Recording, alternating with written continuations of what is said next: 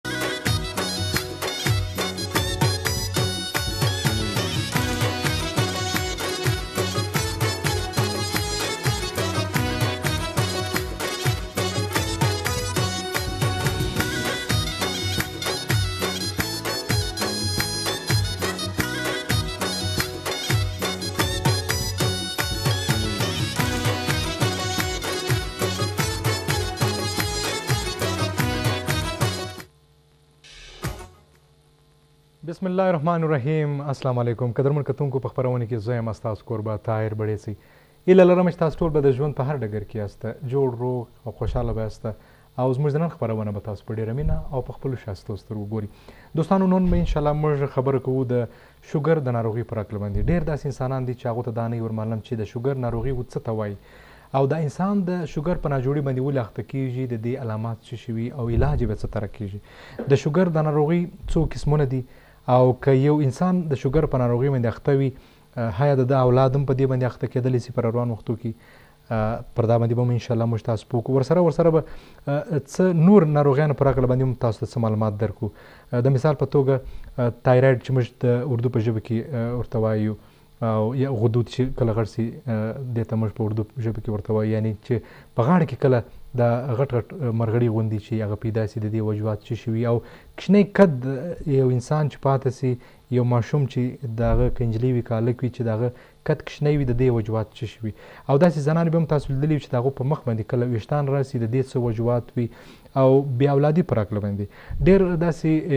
زنانی سته ډیر داسی نارینه سته اوس هم زموږ په ټولنه کی چی د هغو اولاد نه کیږی ددی وجوهات چه شی وی علاج بیا څه طرح کیږی ددغه ټولو سوالو جوابونه به د نن په خپرونه کی زما سره دوه قدرمن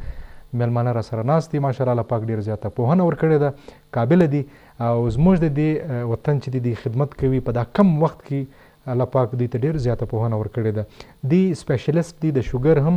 او ورسره د انډوکراین د انډوکراینولوژي او چشته وایي پر دا باندې به ان شاء الله موږ تاسو سر در خلاص کو د شوګر سپیشلیسټ دواره ډاکټران زموږ سره ناست د نن خبرونه کې اول قدرمن ملما ډاکټر چې دی زموږ سره ناست دی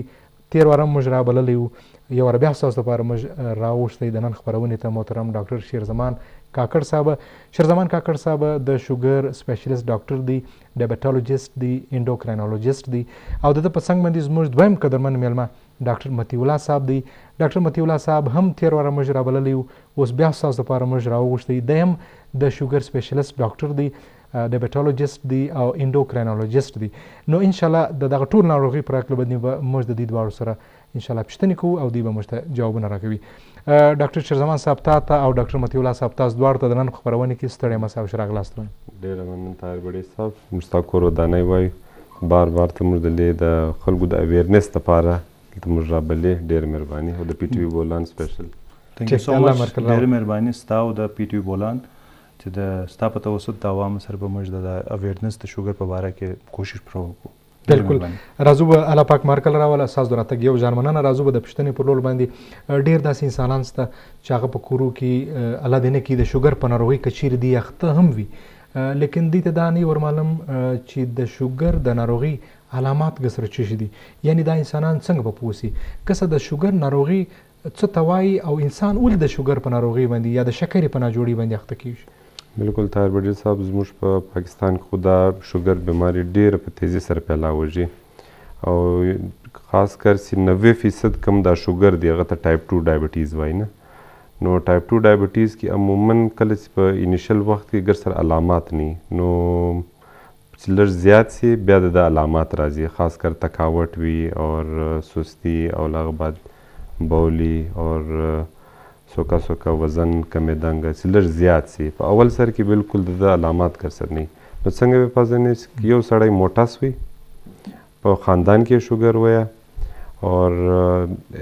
خوراک ډیر سره به ترتیب وای نو دا سړی په کار دی خپل ټیسټ وکي په ټیسټ تر ګردو شز دی ټیسټ دای معلوموي سي چې آیا د شوګر ستا که نستا او ضرور په کار دی دارنګ خلک په کور کې شوګر لري موټاپا لري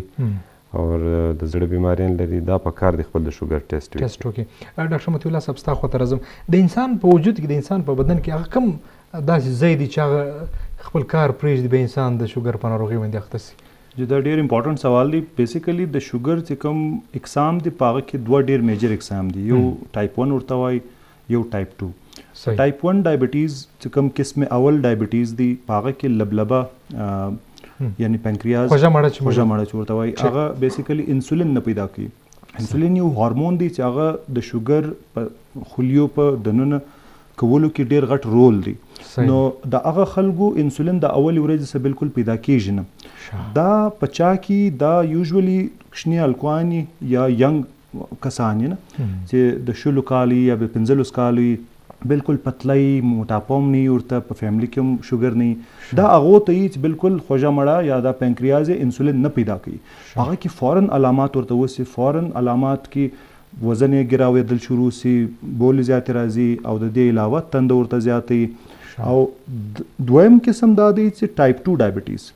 قسم دویم چې نن کوم عوام موږ اوري میجارټي 90 پرسنټ لکه څنګه چې ډاکټر شیر زمان ویل 90 پرسنټ د پاکستان دا یا در دې زیات ټایپ 2 ډایبټیز دي په ټایپ 2 ډایبټیز کې په شروع کې انسولین خو یې مګر هغه کار نه کوي سم کار یې څه کار دی هغه کار دی لکه یو چابي لاک څنګه خلاصي دا بیسیکلی دا دا مثال دی چې دا چابي به دا ګلوکوز چې کوم شوګر دی شکر دی و خلیه ته دننه ورولي تاکه موږ ته انرژي پیدا شي موږ ته حرارت پیدا شي نو هغه پر دغه دروازو باندې پر دا لاک باندې د سیلز پر دا خلیو پر لاک باندې پرابلم راسي و دې ته موږ ریزیسټنس وای انسولین ریزیسټنس نو د دې مین وجه لکه څنګه چې ډاکټر شیر زمان ویل موټاپا ده او موټاپې علاوه په فیملی کې ډایبټیز او د دې علاوه زموږ لایف سټایل او زموږ کم خوراکونه دي هغه او ایکسرسایز نه کول دي دا ټول ټایپ 2 ډایبټیز وجوهات دي ټایپ 1 یوزولي ته دی هغه یو اوټو ایمیون ډیزیز ورته وایي دغه د وجې چې دا غي څه جنټیک بیسز هم وي او د دې علاوه انسولین بیسیکلی نه پیدا کیږي پاو کې نو موږ چې کوم نن ورځ زیات زور پر لګو هغه په ټایپ 2 ډایبټیز یې لګو ولې ټایپ 2 قسم دویم زیات کامن هم دی پریونټیبل هم دی ټریټیبل په دې معنی باندې چې کیوریبل لا دی په شروع شروع کې هغه به واره کې به نور مخته بم خبرو نور مخته بم خبرو کو ټیک دی ډاکټر شرزمان صاحب ستا خو تر ازم د شوګر تاسو دوه قسمه وویل چې د شوګر د نجوړیغه دوه قسمونه دي یو اول قسم یو دویم قسم نو موږ څنګه پوه سو یعنی کم عمر والا هغه د شوګر په اول قسم باندې موږ دا وایو چې الله دې نه کړي دی په اخته دی او د دویم قسم والا په کم عمر باندې اخته کیږي او د اول او د دویم قسم فرق د سره چی شي کم یو ډیر زیات تاوانی وي چې انسانان په پوسی اوله خبره خو تر ګډ لمخسته فرق لکه ډاکټر مطیع الله صاحب چې ویلې په یوه کې موټاپا ډیره زیاتی او په دوم کې چې دی هغه بالکل سړی بالکل نری ډنګری وي وزن یې کم وي او دوم چې دی عمر فرق سره کوي عموما تر پنځه ویشت او شل کاله چې کم کم خلک وي ټایپ ون وي تر دغسې بالا خلک وي دا ټایپ ټو نمای نمای خلک داسې وي چې په هغه زیات عمر کې هم دوی ته ټایپ ون کېدای سي به یو جلا قسم دی د ټایپ ون غه چې هغه بالکل نری ډنګری وي نو زیات تر غټ فرق یې دا دی دریم بیا علامات شوګر ورته وسو یو دم ډیر تیز علامات ورته وسول یو دم وزن ګراویدل یو دم ودته تند ډیر ولوږي او بول ډیر زیاتې ورازي دا خلکو ته دا ټایپ 1 وي اور ټایپ 2 والا سی هغه سلولی سلولی لکه د ډاکټر مطیع الله صاحب څه ویل انسولین ریزیسټنس وي موټاپا زیات وي په دا باندې موږ زیات تر ډیفرنشیټ کوو سره نور بیا څه ټیسټونه هم راځي هغه نو بیا سی فرق نه ستر تر لکه وای نو بیا دغه د پاره یو سوفیسټیکیټډ ټیسټونه دي هغه بیا موږ کوو چې معلومه کوم یو ټایپ 1 دی کوم ټایپ 2 دی صحیح دی. فیملی هیسټری یو بل ډیر پکی امپورټنټ دی په ټایپ ټو کی فیملی هیسټری ډیر وی بابا دی په خاندان کی خو نه دی را روان او خاندان کی نه دی را روان صحیح دی دا ټایپ ټو ټیک دی ډاکټر صاحب ستا خواته راځم دا چی ټایپ ون ټایپ ټو یا اول نمبر یا دویم نمبر شوګر پر راکله باندی موږ کتونکو ته معلومات ورکړي بیا د دې چې کوم علامات بیا ټیسټونه پر راکله باندی علاج بیا د دواړو جلا جلا دی او دا انسولین په کوم وخت کې لګیږي او ډیر خلک چې د انسولین نوم واوري او یار دا زما خیال بس اخري علاج دی د دې پس چې دی الله دې نه کې دا انسان ګس عمرې دا انسولین مور نږدې کوي انسولین واقعي دونه خطرناک دی که فائدہ مند دی دا ډیر ضروری سوال دی ستا په توسط زه عوام ته دا ویل غواړم دا دواړه ټایپس جلا جلا دي او ټایپ ون ډیر کم به مریضانو الدلی یا عامو خلکو به ټایپ ون ډیر کم الدلی ولی د هغه حجم صرف پانچ پرسنټ دی یا دس پرسنټ دی نه مګر ټایپ ون ډایبټیز که چاته وسی هغه بالکل د شروع ورځې سه چونکه انسولین نه جوړیږي په پنکریاس کې نو د اول ورځې سه به دا پیشنټ پر انسولین او په پوره انسولین باندې به پوره انسولین دا مطلب چې موږ چې کوم پنز ورکو یا انسولین چې کوم پراپر هغه رژیم ورکو هغه ایډیل رژیم ورکو و دې ته بیزل بولس وایي هغه ظاهر خبر د ډاکټران د پاره د خبر کوم چې دا مکس والا انسولین و ټایپ 1 ډایبټیز ته هر کله هم مور کوي دا د ډاکټران د پاره د خبره سوره ټایپ 1 ډایبټیز سټریټ اوې بیزل بولس انسولین دی او کوشش به دا یی چی دا کوم نوی والا انالاګ انسولینز دی ددا پن والا دا زیات بهتره دی ولی ددی افیکیسی هم بهتره ده او سات سات د شوګر د یو دم زیاتو کمولو چانسیز هم کم نو خبره خو پدی کی سمپل سټریټ فارورډ ده د اولی ورځی څخه در اخری ورځی پوری د ټایپ ون ډایبیټیز لپاره انسولین دی انسولین بلکل سیف دی یو نقصان یی نسته دی دی لکه ګاډی چلول ده ګاډی چلول بالکل سیف هم کېدای سي او که ډرایور سم نه ډرایور مطلب ډاکټر سم نه نو هغه بالکل دا تاوان کولای سي تاوان یې دا دی چې شوګر یو دم کمېدلی سي بل یو تاوان د دې انسولین دا نسته نه درد لري نن سبا چې کوم پنز راځي هغه ډېر کوچنی نیډلې بیا دغه علاقه چې کوم د نسته دا یو درد نه لري طاهر صاحب دا موږ څه سوچ وو نه درد انجکشن لري هغه پر موټه باندې هغه غټي والا انجکشنز ته لګیږي دا غسه درد دی دا د نس والا یو نه درد لري نه د یو خرافات او د میتس په دې کې ضرورت سته نه په دې کې گنجائش سته مریض خپل هم لګولی سي مریض خپل لګي بیسیکلی او کوچنی الکوان لا لګي دا خو ټایپ 1 په ټایپ 2 ډایبټیز کې چې دی هغه دواوي دي په شروع کې او بعد کې بیا یو انسولین او سات سات آهسته آهسته هغه بړاویږي طاهر صاحب موږ ډیر خوشقسمته هم یو چې د 2015 بعد ډیر ټرایلز وسو په میډیسن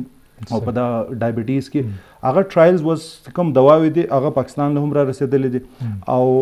دوه درې کاله خو موږ هم کېږي چې هغه پرسکرایبو په هغه دواو کې معنی کوم د شوګر د دواو یو نقصان او شوګر یو دم کمول یا وزن بڑاول یا نور پرابلمونه کول هغه پرابلمونه پاکې نسته د نن سره لس کاله مخکې صرف او صرف دوه ګروپ وو د ډایبټیز د دوايانو چې میټفورمین ورته وایي په ډیرو نمو دی خو نوم نسم یادوي او یو چې دی سلفونایل یوریز دی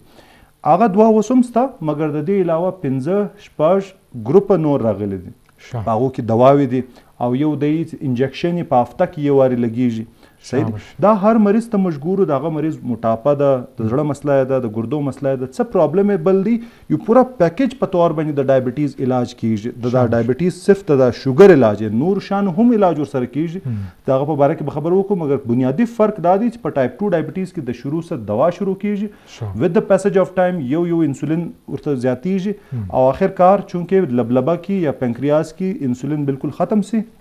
نو بيا انسولين ضرورت پيدا کيږي يوه خبره زه ستا په توسط ضرور کوم چي ستا ډاکټر د پيشنټ ډاکټر چي هر وخت ډاکټر صاحب تاته وايي چي د انسولين ضرورت دی نه دا زما يو ډير غټ ريکويسټ دی دا ورسره مني داغه په دي کي دی خاص فایده نشته دا ګرد فایده ستای د پیشنټ فایده دا پیشنټ د نور خلکو خبره کنه واوري د ډاکټر دا ډایرکټلی واوري نو ډیر شي ولی مسله دای افلان سړی ماته ویلی ول دا ګرده فیل سو دا دا وسو دا ډیر میتس دي دا میتس ډیر غلط دي او دا باید دارنګ سټیټمنټس موږ ورم نکو دویم خبر دا د شوګر ګرده خرابوي یا یو بل شی ګرده خرابوي انسولین خو بچاوي انسولین او دا څو څو کوی دا اخري علاج دي نو دا اخري علاج نه دا بهتر علاج دي کچیر د انسولین ضرورت دی باید انسولین کچیر د دوا ضرورت باید دوا ټیک دي یقینا ډیر شایسته او په زړه پوری جواب تاسو راکړي قدرمن کتونکو تاسو به درمعلومه وي چې ډاکټر شیر زمان کاکړ صاحب او ډاکټر مطیع الله صاحب دی دواړه په کوټه کی دا وخت دلی د شوګر ماهر سپیشلست ډاکټران دی او په کوټه کی په بلوچستان کی داسی ډیر کم د شوګر سپیشلست ډاکټران دی خو اوس په دا نوی نسل کی په دا جدید وخت کی چی دی دا دواړه قدرمن نوی ډاکټران چی دی دلی راغلی دی ماشاءالله الله پاک ډیر زیاته پوهنه ورکړی ده او ډیر زیاته قابلیت یې ورکړی دی او په لاس کښې دی الله پاک شفا هم له ورکړی ده ډاکټر شرزمان صاحب ستا خواته راځم که د شوګر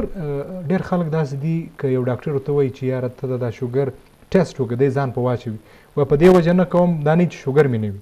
که چیرې دی په دې ځان واچوي چې یعنی زه نه کوم دا نه شوګر مې نه وي او که چیرې هلته د واقعي شوګر وي د علاج سره مخ پټوي علاج سره مخ اړوي د ده لپاره څونه تاوان کوي او د په بدن کې هغه کم کم خاص اندامونه دي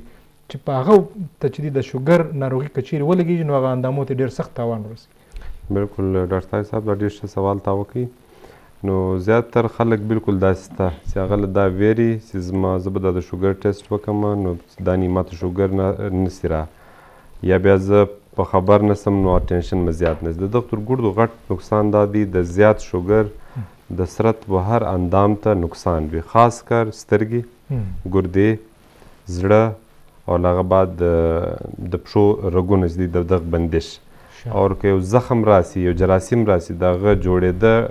نه وي مشکل وي هغه زخم سره پیلاوږي په سرت کې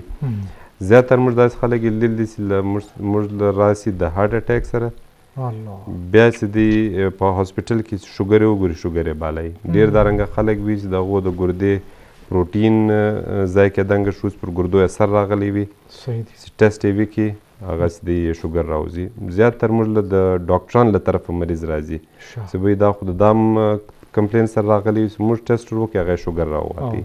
سترګې ډاکټران وي د هغه ماهر یې راولري چې بيده د پر سترګو اثر راغلی وي دا خو شوګر دی صحیح نو زما دا خواست دی و ټولو ته چې زیات تر چې د چا په فیملی کې شوګر وي موټاپه یې وي اور دای د پکار دی د ډاکټر انتظار د ګر سره نه وي ډاکټر به ودته وایي څه ټیسټ وکړي د خپل خپل ټیسټ وکړي په هغه ټیسټ تر ټولو زیات امپورټنټ زموږ په سیمه کې پاکستان کې چې هغه په تس نس باندې شوګر د وګوري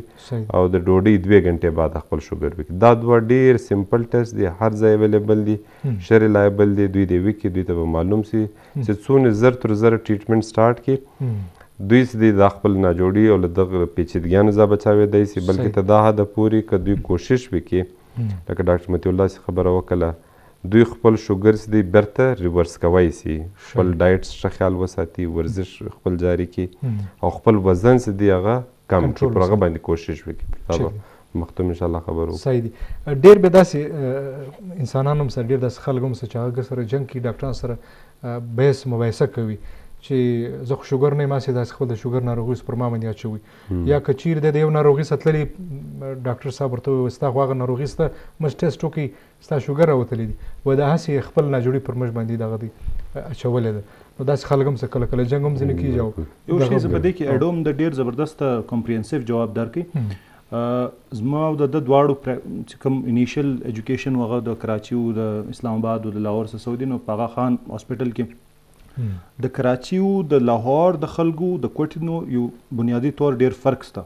الته چې کوم پیشنټس و هغه ما ته یوزولي په کلینیک کې یا ډاکټر شیر زمان ته یوزولي په کلینیک کې چې کوم راتله هغه ای سیمټماټیک و مطلب یو علامات په نه و دی به اویرنس د وجې دا شوګر به چکوي دغه زموږ اوس د نن مقصد هم دا دی چې اویرنس پیلاو کړو نو هغه خلکو ته هغه زموږ در موږ سه یو لس پنځلس کال اټ لیست اډوانس دي نه دوی دا خپل شوګر چک کی په لیبارټري هم چک کی شوګر ورته وسی دا انیشل شوګر چې کوم دی نه د شروع شروع کلونه دا یو ډیر ګولډن پیریډ دی اول دوه درو کال چا تور معلوم سي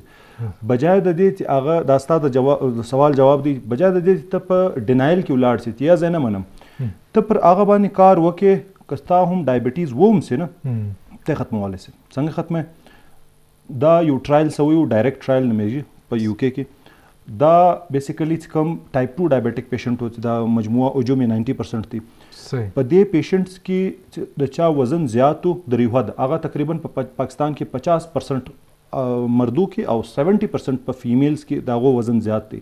نو هغو باندې دا ټرایل سوی وو چې په ډایټ او په ایکسرسایز باندې وزن یې ورکم کړي دوا باندې لا نه ډایټ په ایکسرسایز باندې او په ایچا ایچا کې دوام استعمال کړو هغه په ذریعه چې وزن یې 15% کم کړي مطلب دا کسل کې جی وو هغه 85 له صرف راغلی شه. د اسی فیصد خلګو شوګر بلکل غایب سو. یعنی صرف د وزن په کمیدو باندی. د وزن په کمیدو باندی. او دویم خبر دا ده نه یو بل ټرایل سوی وو ډی پی پی ټرایل ورته وای نه ډایبیټیز پریونشن پروګرام دا یو ډیر غټ تاوزنډز د دې پیشنټ وو ډیر هزارو باندی ونه په دې ټرایل کې چاته پری ډایبیټیز وو مطلب بارډر لاین شوګر چې ورته وای نه چې په دې کې اچ بي اي ون سي والا 5.7 سه تر 6.4 4 پرې نه مطلب ډایبټي شروع کیږي پر 6.5 سه زیات دی و دې ته وایي یا څنګه ډاکټر شیر زمان یاد کی فاستینګ په تش نس باندې کم شوګر دی هغه د 16 سه در 125 سه پرې دا بارډر لاین دی په دې خلکو کې چې دا ډایټ او ایکسرسایز او یو بل ګولي د میټفورمین نمیج په ډیر نومان راځي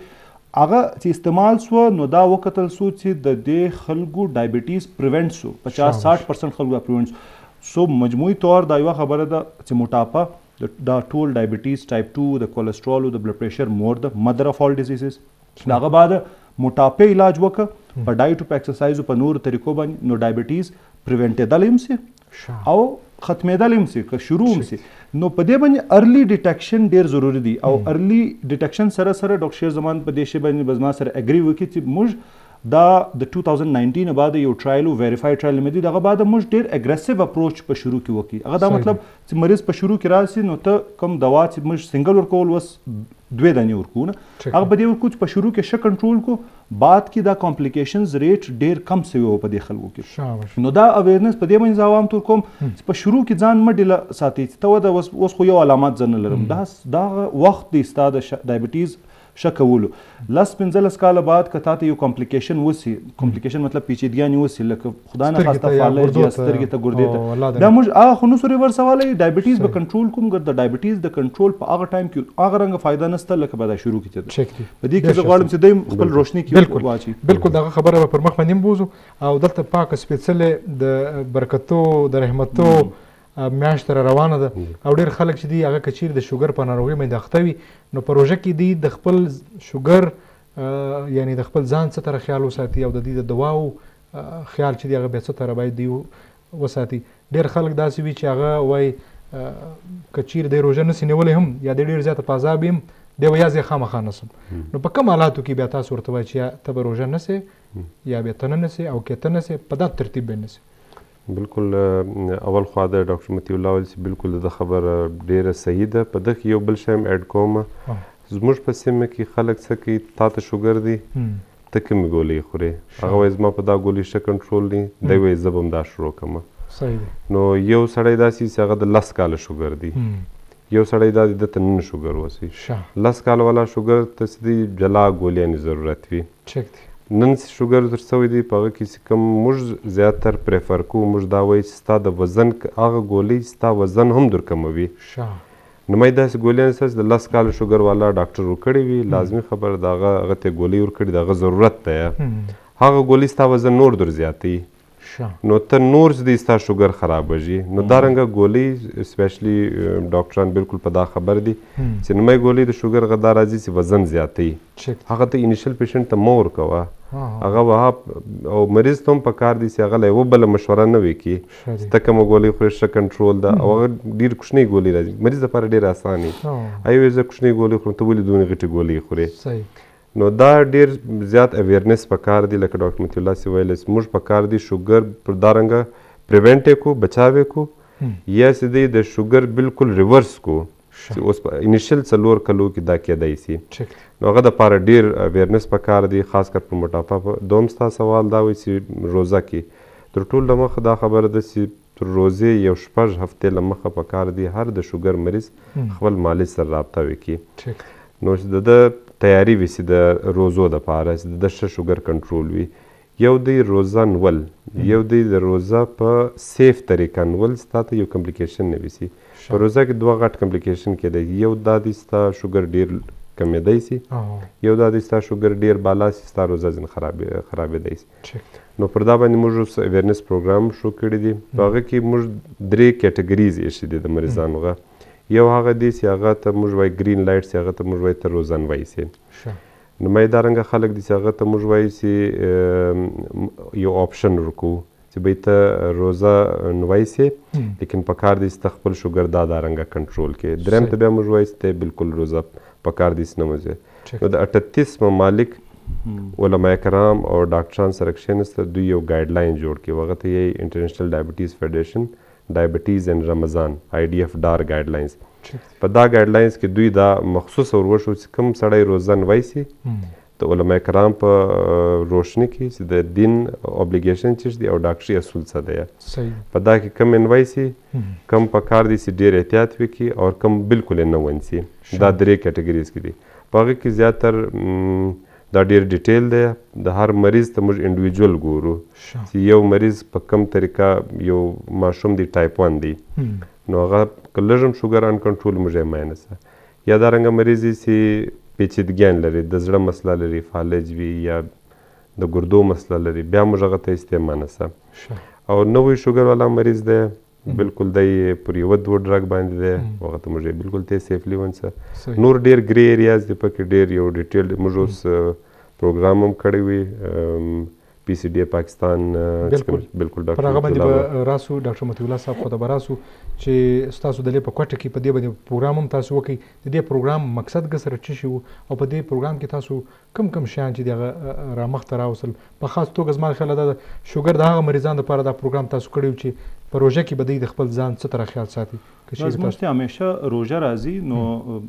کوم اورګنایزیشنز چې کوم دي پاکستان انډوکراین سوسایټي پرایمري کیر ډایبټیز اسوسییشن او دوه درې نور دا رنګ اسوسییشنز دي د دي په کاوشو او ستا د ميډيا په توسط باندې زموږ پوره کوشش دا ينه چې عوام او ډاکټرز چې کوم د ډايبيټيز سپيشلسټ نه دي نه هغه هم مریضان ګوري اوس فار ایگزامپل په کشلاک کې یو مریض دی هغه خو نو در کوټ پر نه سراتلای یا په چمن کې پیشنټ دی در کوټ پر اروار نه سراتلای نو زموږ کوشش دا نه چې ما او دای خو دی د لې ناشته په کوټه کې په بولان کې ناشته بولان میډیکل یونیورسټي کې هر مریض در آځای پرې اثر او سوخه نسته زموږ کوشش دا چې کم اویرنس دی هغه د ډاکټرانو چې هغه د ډایبټیز سپیشلیست نه دی مګر ډایبټیز پیشنټ هغه لورځي هغه لږ رهنمایي وکړو او د دې سره سره د مریضانو دا هم وکړو نو زموږ دا یو سیریز اف پروګرام د خو صرف د شوګر دا نه نور هم موږ ډیر کړی دي او دا بالکل زموږ واټ په دې شي کې هر وخت مخ ته مخ ته نه نو هغه موږ دا په دې کې شروع کړي چې د عوام د پاره چې کوم ډایبټیک پیشنټس دي یا په فیملی کې ډایبټیک پیشنټس دي یا به چې کوم ډاکټران چې د ډایبټیز مریضان ګوري تقریبا هر ډاکټر د ډایبټیز مریض خو ورسې دی وګوري نه هغه د پاره موږ دا اویرنس وو چې کم چې د ډایبټیک پیشنټ دی دی په خپل خونه دی په خبر چې دا روزه روانه ده دا وس یو سیریس مسله ده نه ده سیریس مسله عام کانسپټ خو دغه دی نه روژه ده خو دا به ډیر شي د شوګر لپاره دا رنګ نه په شوګر په ناجوړي کې تب خبره طاهر صاحب چې د شوګر زیاتې د وجې څه کېږي درې سوه درې نیم سوه ته ورسېږي نو تنده زیاته سي بولې زیاتې سي نو دا یو سمپل مثال دی چې دا تنده وو دا بولې خو دغه هم تنده په روژه کې زیاتې نو دا که تنده هم د شوګر د وجوم زیات سي نو بیا به دا سړی څنګه د روژه ونیسي ډي هایډریشن موږ ورته وایي چې بالکل نمکیات د بدن نه کم سو اوبه ډېرې کم سوې دا یو غټه مسله ده دویم چې کم دا هغه طاهر صاحب ما او تا ډایبټیک نه یو مګر چې روژه یې زموږ د پر پنځه بجې زموږ څه حالې نه چکر را باندې راځي لو شوګر والا فیلینګز راته نو هغه چې د ډایبټیک پیشنټ او پر دې دوايانو باندې چې هغه د شوګر د کمۍ هم ډیر زیاتې کمۍ 70 یا 80 ته رسي او سات سات انسولین باندې هم دي دا غو بچاله چې هغه مینج نسی کوم چې نان رمضان ډیز دي هغه جلا دي رمضان کې زموږ جلای هغه چې د وخت تر مخه موږ نکو مینج نو دا ډیر پرابلمونه مخ ته راولي شوګر یعنی که شوګر ډیر پورته سیم تاوان لري که ډیر رقم سیم تاوان لري هغه ګایډلاین کې دا کم چې ډاکټر شیر زمان ویل آی ډی اف ډار ګایډلاین په 2015 کې راغلی اوس دوباره رینیو سو په 2021 ګایډلاین دا بالکل په دې کال راغلی دی دوباره په هغه کې دا کلیر کټ واضح سټیټمنټ دی او دا صرف زما او د ده خبره نه ده دا د مفتیانو د اټتیس ملکو د ډاکټرانو د ډایبټیز د سپیشلیسټ یو موقف دی هغه دا دی ډیر موقف دی په یو موقف دا دی چې د شوګر د 300 څخه زیاتېدل یا د 70 څخه کمېدل اتوماتیکلی روزه کلاو سو یا ماته سو موږ دې ته بریک د فاست نه وایو ول بریک یا ماتول د سي څه بد تور دي موږ وایو روزه کلا اوس ونه ده ده نه دی هغه حاجی صاحبان به څنګه قانع کوو چې هغه وای ته پرېږده ډاکټر صاحب خبرې ځینې ولې سو نه هغه کې دی اسلام دونه مشکل دین نه دی اسلام چې دی هغه ایزی دی اسانه دی او زموږ د پاره دا په دین کې هم دی او په سوره بقره کې د دې آیات دی د دې په باره کې ما او دی دا خبره نه کوو نه موږ ریلیجس سکالر یو موږ دا خبره کوو د هغه 38 ملکو سټیټمنټ درته وایي مفتیان اسلام هم ته د دې شي اجازه درکوي درکوي بلکې چې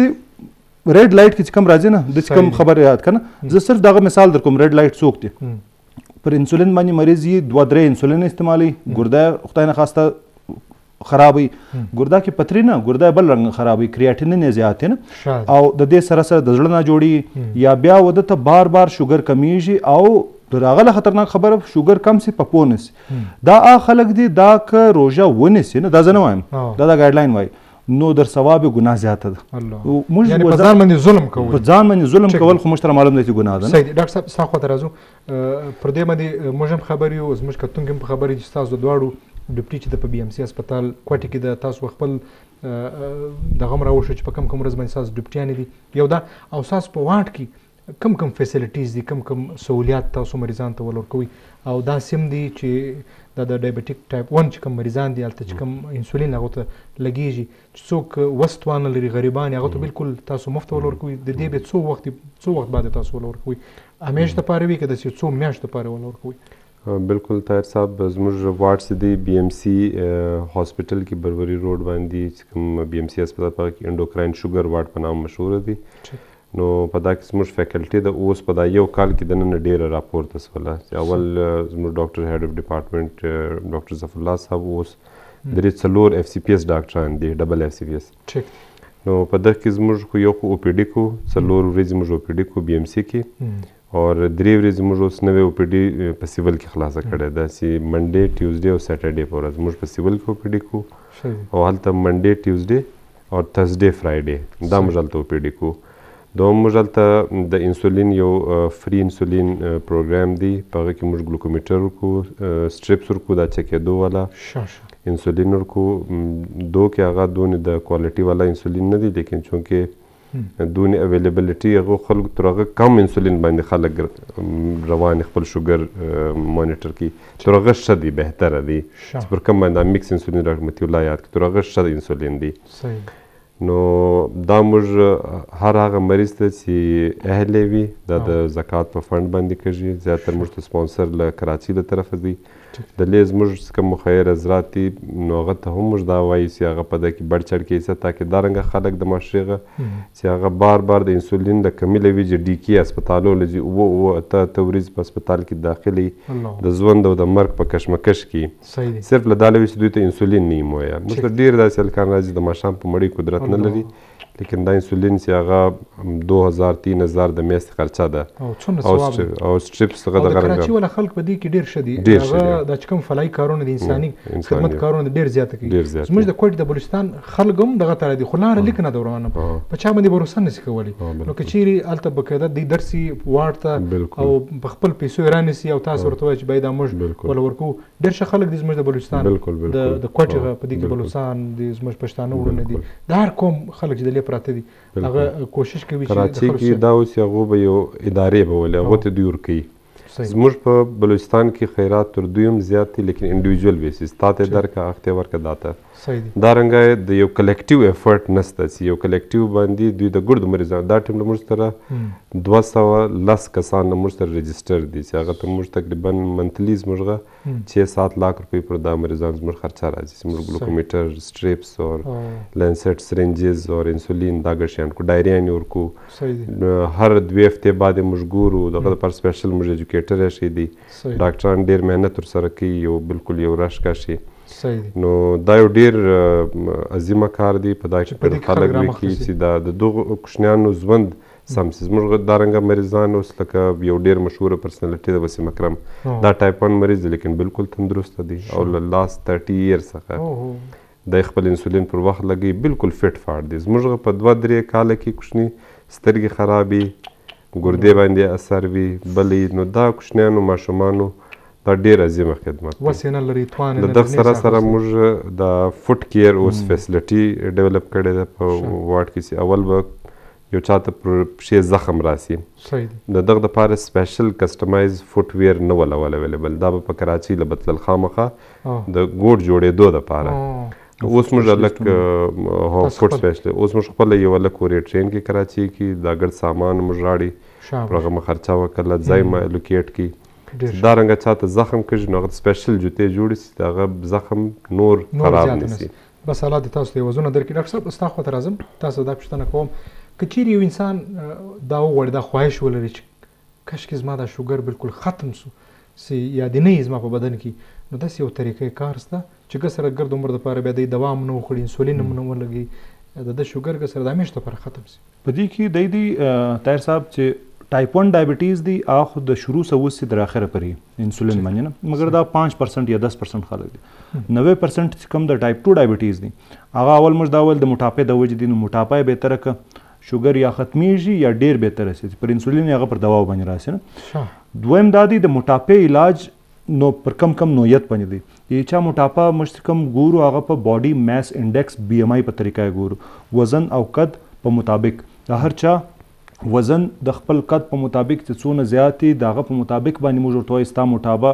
کومه کټګوري ده کټګوري 1 ده 2 ده 3 ده نو دې ته لږ اوبیسټي وایي موربیډ اوبیسټي وایي کم والا ده نه فرض که د یو چا اوبیسټي دونه زیاته نه ده او ډایبټیز یې هم نوی نوی دی بیا خو سمپل په ډایټ او په ایکسرسایز باندې او په یو یو دوا باندې هم د ده شوګر هم ختمېدلی سي او سات سات که چیرې دته شوګر نه پری ډایبټیز نو هغه پریونټېدلی سي دویم هغه خلک دي چې ډایبټیز هم لږ ډیر کلونه وسوه او انسولین ورته روان دی یو انسولین او سات سات ګولیان ورته روان دي موټاپا هم ډیر زیاته ده دا ډایټ او ایکسرسایز او د ډاکټر شیر زمان والا خبره چې هغه د شوګر دواوي چې وزن هم کموي هغه شیان که موږ وکړو خو بیا ډیر ښه کنټرول هم راځي د شوګر او سات سات وزن هم کمیږي او وزن ته کم سي نور په دې کې بهتري راځي دریم کټګوري خلک هغه دي چې وزن یې ډیر زیات او سات سات شوګر هم ډیر خرابي د هغو د پاره موږ دا خبره کوو چې باید دوی د وزن اپریشن وکړي. اوس د اپریشن نوم یو مریض واوري نه ډیر پریشان شي نه ظاهر خبره ده دا یو ډیر غټه خبره ده هغه د پاره مګر ته د دې بینیفټس ګوره دی صرف هغه ساید افیکټس دی په 5% خلکو کې هم هغه ساید افیکټس نه دی هغه یادي 5% ما زیات فګر یاد کی 2 یا 3% د اپریشن چې کوم د وزن والا کیږي د دې ساید افیکټس دی په هغه یو اپریشن باندې دا موټاپا چې موربیډ اوبیسټي و بي ام آی شوګر د مریض غو ته شوی چې دا د شوګر داوم د دبل داوم عام سړی داوم ولې موږ دا طے کړل چې موټاپا مینز تقریبا شوګر دی قانون نه دی سبا دی نو دا پندواله په څنګه په اپریشن په طریقه باندې څنګه ختميږي د خپل خاص پروسیجر دی خاص پروسیجر دی په پاکستان کې بالکل یو دوه ځایونه کیږي نوم خو ظاهر خبر ده نه خمزه بټ هغه دا دی چې دا بلکل سیف ده او ډیر کامیابه آپریشن ده دا انډیکیشن د یو چای چا دی دی نو نه وس لږ موټاپه یا غو وای زه دا وکم نه یا دا هغه چای چې شوګر هم سره کولیسټرول هم سره او وزن هم ډیر زیات موږ د وزن علاج صرف د شکل د پاره نه کو د د د نن نه جوړیان د پاره کو چې کم نه جوړي د شوګر دا دا هغه به ترسي کولسټرول یې بهتره سي یا شوګر یې غایب سي بالکل دا رنګ زموږ څو مریضان دي نه دغه شوګر غایب سوی هم دی دا سټیج 1 والا او دا هم غایب سوی دی د سټیج 2 دا هم ایون د سټیج 3 والا کچیر بیریاټیک اپریشن چې کوم دی دغه چې کوم ګیسټریک بای پاس ورته وای دا کوو کې کمپلیکیشنز یې ډیر زیات نه دي د دې اپریشن او دا هغه اپریشن نه دی کوم چې موږ لایپوسکشن ورته وای هغه جلا شي دی هغه صرف سربیرنه چربي استل دا زه خو دا ډیر نه ریکمنډوم د دې لپاره د دننه د نس اپریشن د معده اپریشن او هغه بالکل سیف معده رکشنی کی معده کښنی هم کی او پاره کی بای پاس ټریک ورته جوړ کړه هغه ظاهر خبره د ډایګرامټیک طریقه باندې بیا شور سمجاولای سم بل طاهر صاحب دا خبره ده دا دا فورت والا اپشن دی اوله اپشن مریضان ته زوایم مفت علاج صحیح ډایټ او ایکسرسایز ایکسرسایز مینز ورزش صرف کړی یو بریسک واک کړی نیمه غنټه ډایټ پر ډایټ باندې بازار راسم اوس دوباره مګر ډایټ دی ایکسرسایز دی او یو څو دواوی هغه دواوی چې ډایبټیز د پاره کم دواوی ته استعماله چې باید وزن نه کې بڑاو هغه والا باید نه کې استعمال او کم چې وزن کمی هغه باید چې پریفریبلی استعمال شي دا پښتنه ته برته تراسم ډاکټر صاحب بیا به تاسو دا پښتنه وکم چې کم ایکسرسایز کم سپورتس یا کم واک کم د پښو تګ وکړي او کم داسې خوراکونه دي چې هغه دی کنټرول کړي نو دوی به بیا د دا ناروغي سره لرې وي ډاکټر صاحب ستا خو ته راځم د تا سره دا پوښتنه کوم یو خو داسې دي چې نارینه وي که هغه الکان وي که ځوانان وي که د غټ عمر خلک وي هغه کاروبار ته ولاړ شي یا سکول ته ولاړ سي یا خپل افیس ته ولاړ سي یا سپورټس کوي ګراوند ته ولاړ سي فوټبال کوي کرکټ کوي دا چې کوم نارینه دي د دې تقریبا خپل وزن کنټرولولی سي خو زه ډیر پریشان په هغه زنانو باندې په هغه مند خوند باندې چې هغه په کورو کې وي او موږ لیدلې دي زموږ د دې سیمې زنانې به خډیر زیات پندې دي او وزنونه هم ډیر زیات دي نو د دې دغه وزن په وجه باندې الله دې نه کوي داسې ورنږدې کېدلی سي د شوګر ناروغي ته څه په کار دي؟ بلکل دا خبره ستا هغه سو فیصد درست ده بلکه سروې مطابق پاکستاني پاپولیشن پچاس فیصد مرد دا موټاپه لري اویا فیصد زناني موټه دي پاکستان کي نو بلکه په دنیا کي هم د زنانو د موټاپې شرح ډیره زیاته ده نو تر ټولو له مخ خو دوی د زنانو د خپل ډایټ خیال د وساتي نه ډاکټر مطیع الله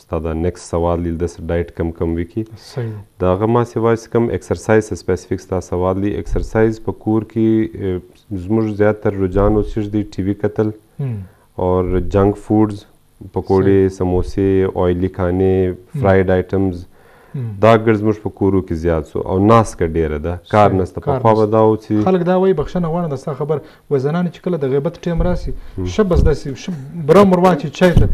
او ښه خوږې چای کې به غیبت هم بس ګوړه ده پلمیټ دی بیا دا شان ډیر زیات سي ډایټ سپیسیفیکلی سیکنډس دی بیا ایکسرسایز لازمی یو نیمه ګنټه یو زیات تر زموږ زنان ته بیا دا مسله چې موږ له کور نه سو وتای نو یا خو په کور کې د دوی لپاره د سایکلینګ ولا یو خدا وای چې موږ ګرځو د کور چوپړ وو دغه ایکسرسایز دا خو ایکسرسایز نه یو سپیشل چې دی دغه لپاره ټایم او بریسک واک چې لږ د ستړیا یا خلام پکې راسي دا رنګ ایکسرسایز چې د دوی لږ انرژي چې دی هغه برته کنزیوم سي په سرت کې دا واک دوی لپاره ضروری دی ټیک دی د سیول هسپتال او پیډیم انجینر صاحب وایي وایي دا بنده ده ما خلک سټرایک دي څه دغه دی هرتال خو به نه وي یا اوس چې دی بیرته ختم سو اوس نو ټیوزډي منډي او سټرډي دا درې ورځې موږ چې دی هلته وپیډي کو ټیک دی دا د پر روان وخت کې به ان شاء الله زدي نور به هم دا ورځې زیاتو چې لمر څخه کنسلټنټ زیات نو شه د انجینر صاحب پښتنه بس تاسو رم کو خیر ازما سوال هم د تاسو ردی چې کم خوراک وکي او څه تر د سپورت وکي ایکسرسایز وکي چې د د شوګر ناروغي ته نږدې نسی او انجینر منیر صاحب دا وایي چې د د شوګر د مریض واقعي اخیری علاج چې دی هغه انسولین دی حالانکه موږ د دې جواب مو مل خیر د د لپاره د تسلی لپاره نو اول به دا دویم سوال جواب درکم انسولین باندې څونه میتس دی نه ډیر زیات خرافات دی نه پر دې باندې باید دونه نه یې نه که زما څه پوښتنه وسی نه په دا انسولینو په دوا کې سیف کم شی دی سیف دې ته په پښتو کې دا و میت یعنی د انسولین سره کرکه کول کرکه کول بد کول نه شه نه شه په دې باندې چې په دوا کې بیا هم لږ ساید افیکټس یا پرابلمونه سته مګر په انسولین کې چې دی هغه ساید افیکټس بالکل نسته که سم استعمال سي هغه ډاکټر په خپل طریقه شی انسولین او په هغه طریقه یې در استعمال کړي نو دا اخري علاج هم نه دی د دې زما سره ډېر اګزامپلونه دي ما ته پیشنټس راسي فرض که د هغو شوګر چار سو ساړه چار سو وي پنځ سو وي ډېر علامات یې ورته هغه ډېر پریشان وي هغه ته صرف د یو ټایم والا انسولین ور شروع کوم چې هغه اوبویسلی ماخستن ټایم او په ډیر اسانه لګیږي د د نه د ډوډۍ در مخه به لګي د هغه د لګوو بعد شوګر یې ډیر ژر کنټرول سي او دواوې چې شروع کې زه دوې درې ورکوم هغه آهسته آهسته هغه هم کمې سي نیکسټ ویزټ چې دی راسي ودین ون ټو ټو منتس په یو او په دوې میاشتې کې اندر اندر دغه انسولین نیم سي دوې درې میاشتې بعد بالکل ختم سي نو دا یو مریض نه دا ښه ډیر مریضان دي که د ټایپ 2 پیشنټ سي موږ په دا شروع کې په دې باندې انسولین ورکو چې یو شی موږ ورته وایي شوګر یې اوس فلحال دونه زیات دی چې هغه دواوې کار نه کوي لکه باران دونه زیات روان دي او وایپر سم کار بالکل نه کوي دې ته موږ ګلوکو ټوکسیسټي وایي چې هغه سیلز باندې ګولي آ وخت کار کوي چې دا سیلز لږ خو ریسپانس ورکړي نه نو دا انسولین یو مدد په تور باندې په ډیر پیشنټس کې مزه استعمالو دویم دا دی یو پیشنټ پنځلس شل کاله وسوه هغه خو د د انسولین کسر خو نه دی هغه د پیشنټ د ډایبټیز او د د کوم علاجونه مخکې سوي و نه چې دا د لبلبې سره زیات انسولین د رایستلو والا چې کوم دواوې استعمال سوې د هغه د وجه د د لبلبه یا خوږه مړه بالکل ختمه سوه انسولین د بدن د ختم سو اوس خو دغه پیشنټس کې بالکل دا اخري علاج نوم ورکولای سي مګر اخري علاج مطلب بالکل دا کانسپټ باندې زموږ سره نه خلاصي چې ته ولې اخري علاج د نوم نږدې مطلب تاوان نه دی اخري علاج تاوان خو نه دی کوي اخري علاج هم دی دا تاوان بل دا مې درته ویل چې میجورټي پیشنټس کې واپس بندېدلې بالکل سي دا یو څو سوال دي نه چې دا شوګر ختمېدلی سي بالکل ختمېدلی سي انسولین بندېدلی سي بالکل بندېدلی سي پر دې زه ډېر سټرس ورکول غواړم دویم سوال ستا دا و د ډایټ ته ډایټ په شارټ طریقه باندې به زه درو شوم یو څو د شیان دي نه چې دا غو و موږ باید چې بالکل نه استعمال کو اوایډ هغه کې میجر میجر شیان راځي ډاکټر صاحب زه خو خوږې چای نه څښم نو ته خورې چې هغه ټه ډوډۍ خورې زه دا ډوډۍ در خوږو چای زیات خطرناک په دې بولم په دا ډوډۍ کې دا کم چې د تندور ډوډۍ ده او د سپینو وړو سره ده یا د معده چې ورته وایي نه معذرت سره د تندور په خلاف دا خبره ده روانه ده نو معذرت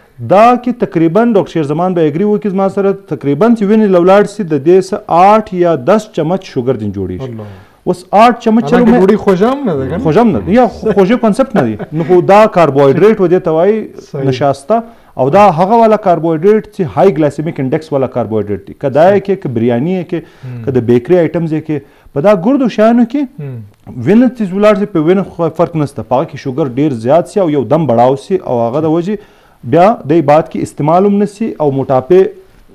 وجه هم جوړ شي او مخ ته نور پرابلمونه راشي دا ظاهر خبر د لږ کمپلیکس خبر ما وکړه خو بنیادی خبر دا د ډوډۍ اول باید کم کې او باید چې خلکو په غور کې ویاره نیمه ډوډۍ خوري زه دوه نیمه خورم دا غلط ده نه دویم خبر دا ده د ډوډۍ سره سره کم وړه باید چې باید چې سره وړی او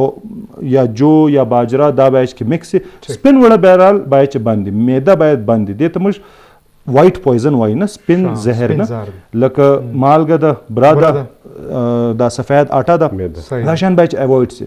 تیل کم سه کم سه صح دوی وای وای دا خو نو د لاس غوړي خو دغه دی چې شته نېچرل دي هر څه نېچرل دي کار شي مکن او د لاس غوړه باج بالکل باندې بل څه نه ور سره سره سره د ریال سره خوري شي یاله ته دي دراغه علاوه تیل وای زه د زیتون تیل استعمالوم دا ډیر کامن دغه دی زیتون تیل کم به استعماله هغه یو چمچ سو نیم چمچ سو دا خو نه کوي بالکل زیتون تیل دوبو پر کم استعماله دا دوه خبر سبزی زیات کی او کم سه کم تیلو کی سبزی فروټ خوړای سه مګر د فروټ جوس اوایډ کوی ولی په فروټ په جوس کی صرف او صرف جوس پاته سی شوګر پاته سی هغه کم چی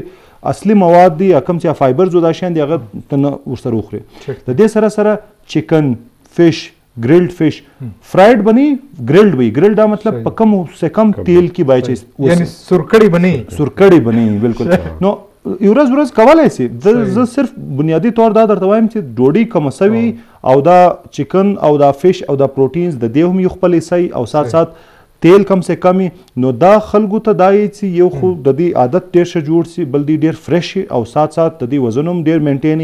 او د دې سره سره دا در ایکسرسایز زیات ضروري دی ایکسرسایز کی ته واک نیمه غنټه وکې 45 منټه وکې هغه تاته یو هیلدی لایف سټایل درکوي سی وزن ډیر کم پغه ګراویږي خلکو پر اکسرسایز باندې زور پر ډایټ باندې زیات زور وکړ نو دا دوه سو د دې علاوه په دواو په انجکشن په ذریعہ باندې هم وزن کمیدل سي او هغه ډیر ټیکنالوژیان وسره غلي دي نو دغه په اړه کې هم خبرې کولای شي خدای کول ان شاء الله ډاکټر صاحب تاسو خبرې زه صرف اډ کوم د یو خو انسولین په باره کې کوم واقعي دا کرکه ده الله پاک نیچرلی زموږ په سرت کې انسولین پیدا کړی دا لبلبا خوږه مړه صورت دا انسولین پروډیوس کوي صحیح دی نو دا صرف له بهره ځا موږ انسولین ورکوو نو چې الله پاک دا یو شی پیدا کړی دی زموږ په سرت کې نو هغه بالکل نقصان دی نسی کېدی صرف دا وي چې زموږ الله پاک خو د خوراک په څونه زموږ جسم چې دی هغه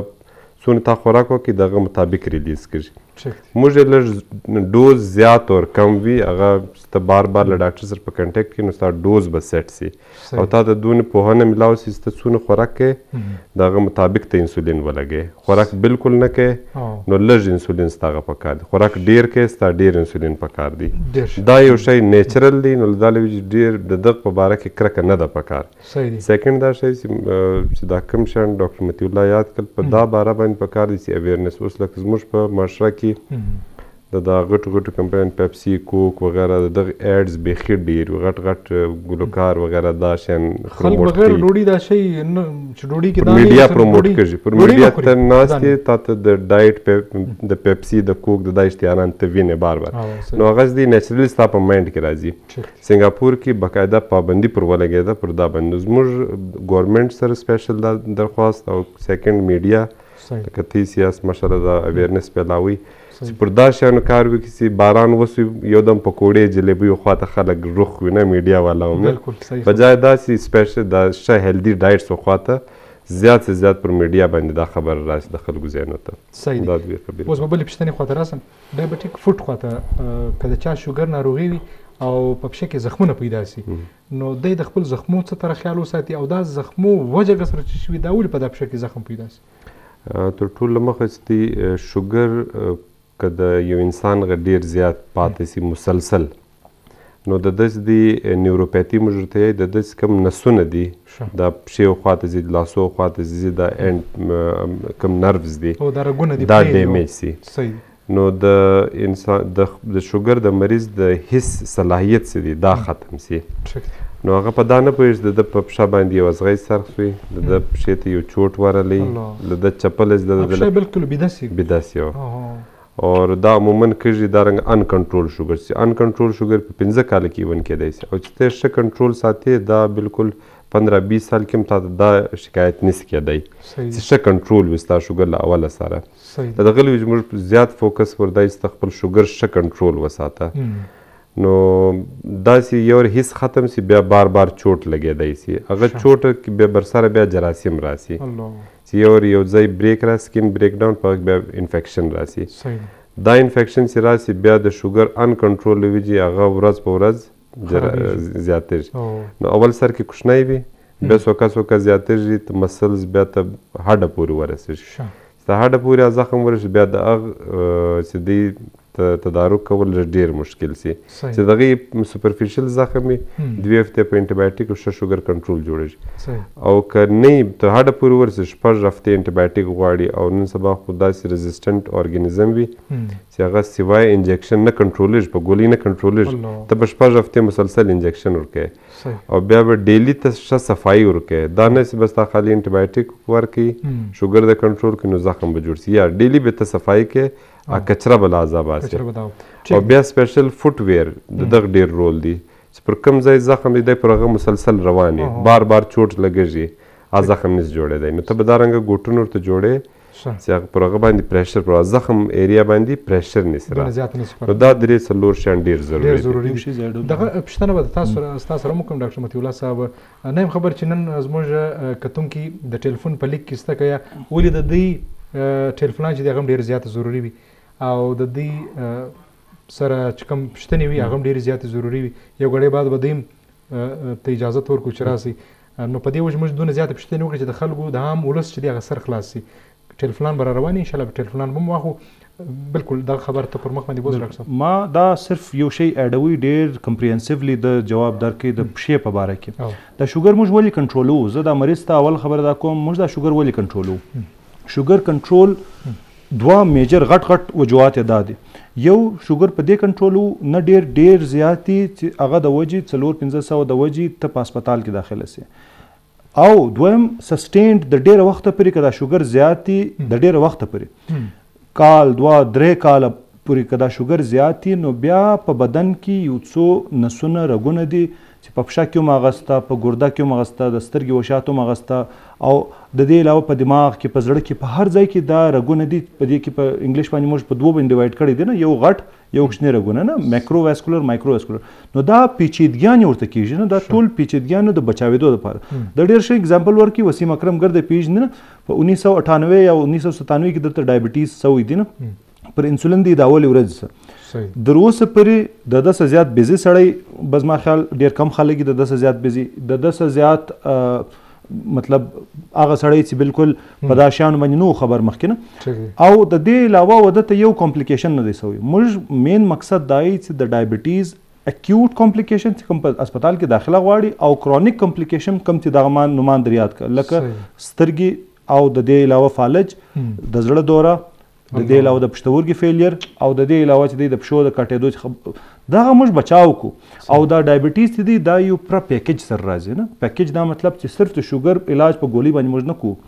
د شوګر وجه څه ده کم والا شوګر دی ده ده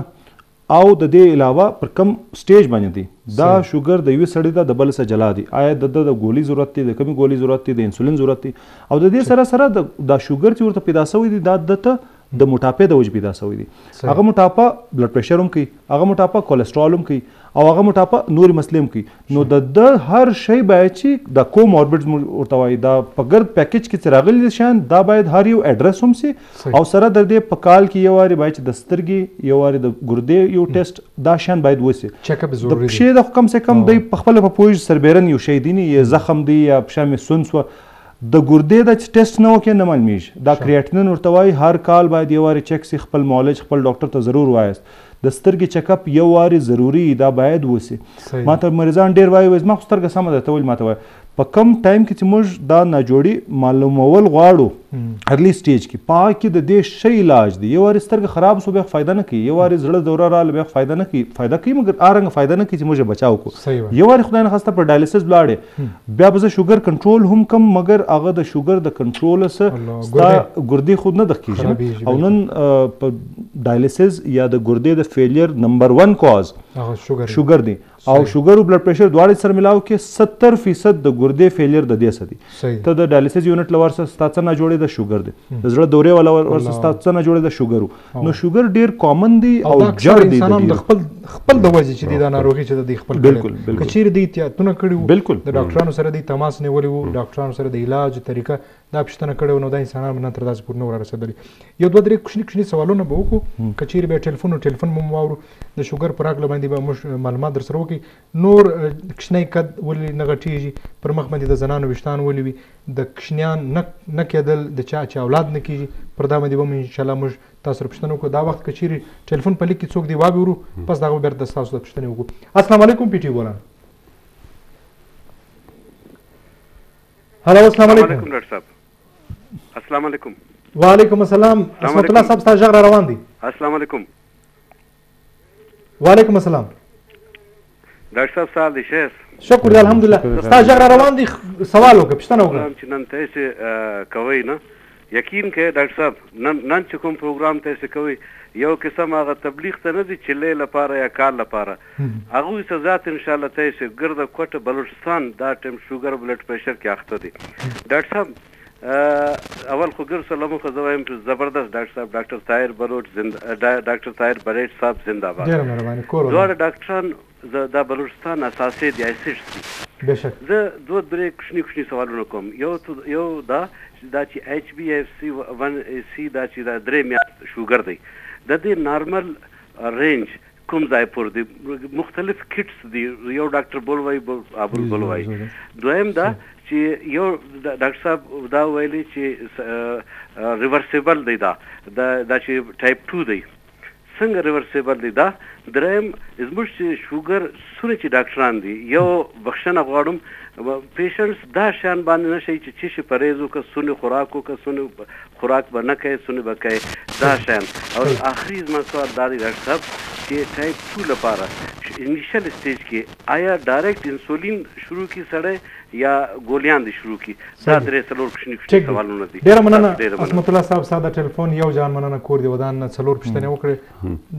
په تاسو به وبیشم دوه دوه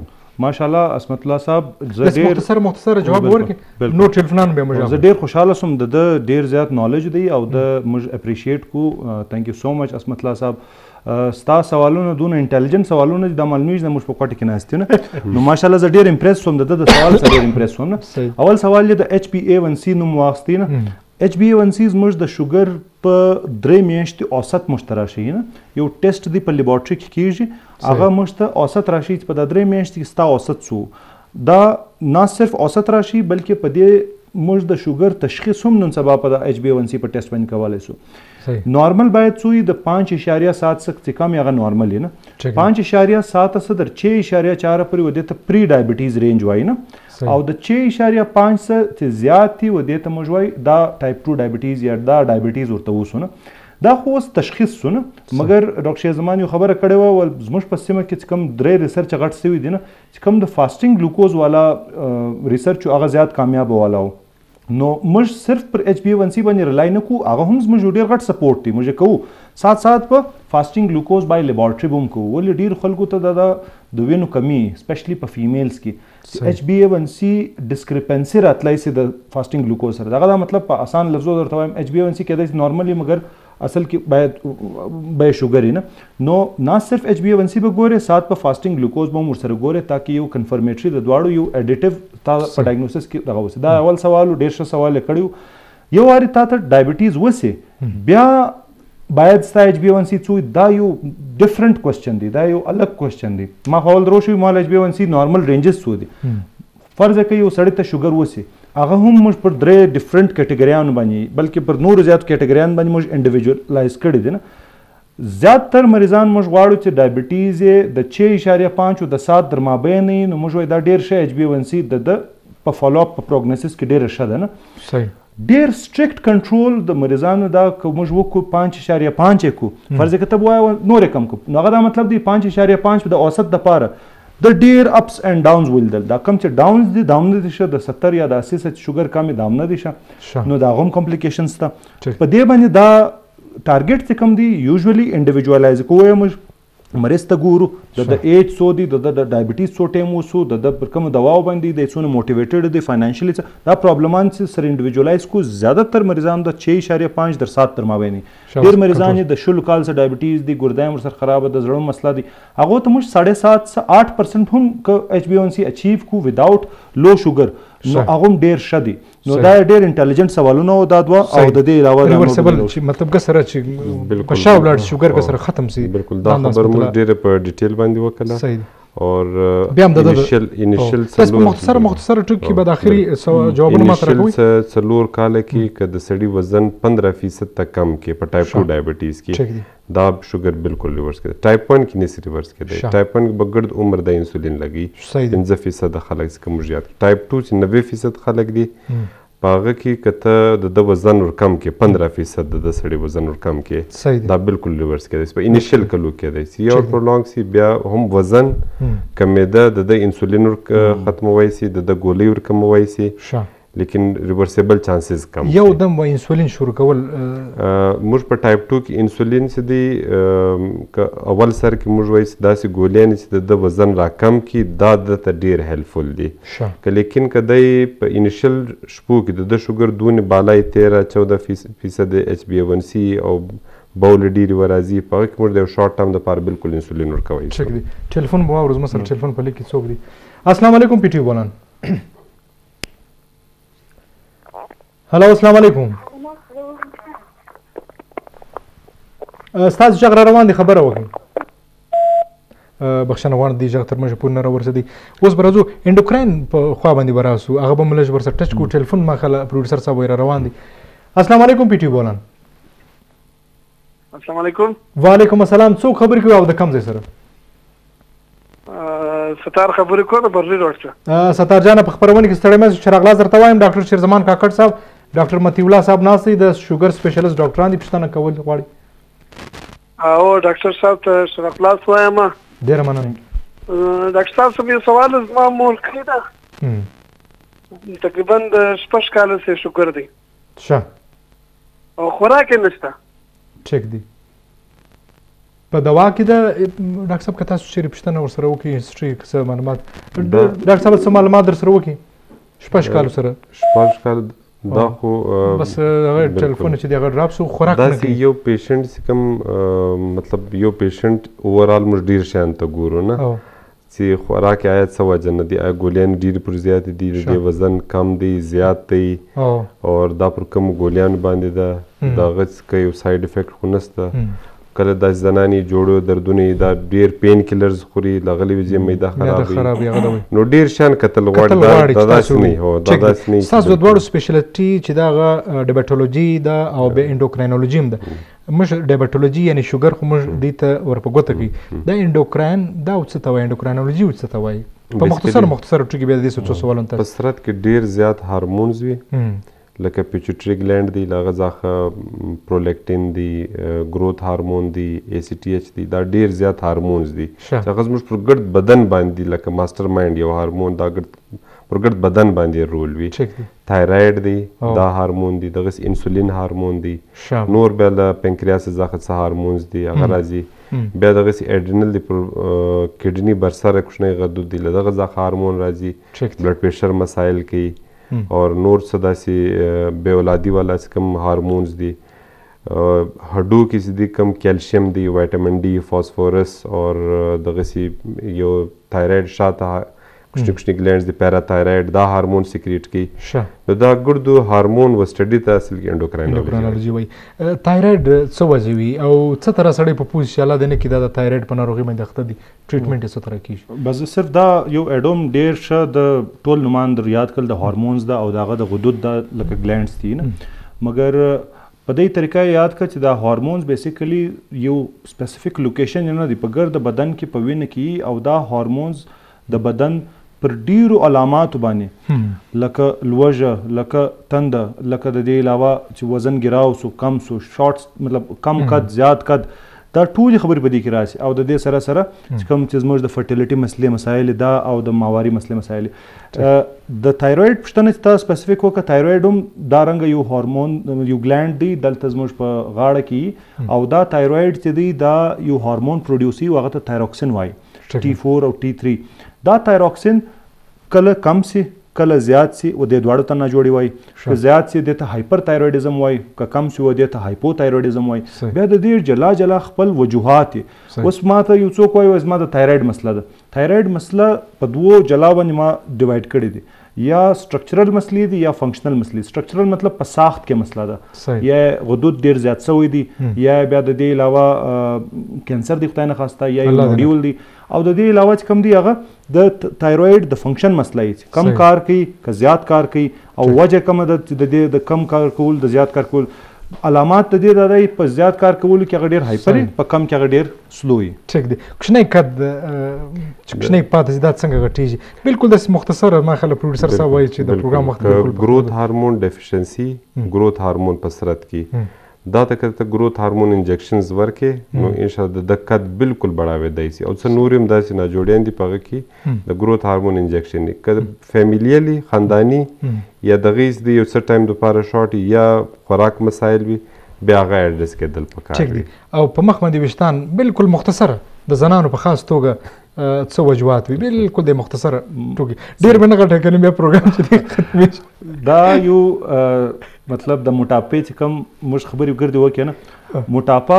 شوګر هم کوي او موټاپا دا د پی سی او اس مسله چې کم ورته وایي دا هم کوي ولې زموږ دا فیلډ دی نه په موټاپا د وجه سوې دی په دې د زموږ دا فیلډ دی په دې کې ماواري مسله عمر ته او د هورمونز مسایل ورته او دا یو ډیر ډیټیلډ د دې جواب دی مګر د دې بالکل علاج هم سته هر څه سته او په دې کې فرټیلیټی هم کېدلی دی دا مطلب بې اولادي والا مخنیوی هم کولای سي دا ټول شان لږ ورک اپ غواړي اوبویسلی د دې دا زه اپولوژي درته کوم دونه اسانه جواب نه دی نه په دوه لفظو باندې دی صحیح دی ډاکټر شیر زمان کاکړ صاحب ستاسو راتګ یو ځان مننه ان شاء الله بیا تاسو راغور بیا تاسو راغور ډاکټر متي الله صاحب ستاسو راتګ هم یو ځان مننه ډیر مننه کور مودان ډیره مهرباني جی قدرمن کتونکو د نن په خپرونه کې زما سره دوه قدرمن محترم او قابل ځوانان ډاکټران را سره ناست محترم ډاکټر شیرزمان کاکړ صاحب چې د شوګر سپیشلیست ډاکټر دی او ډاکټر متی الله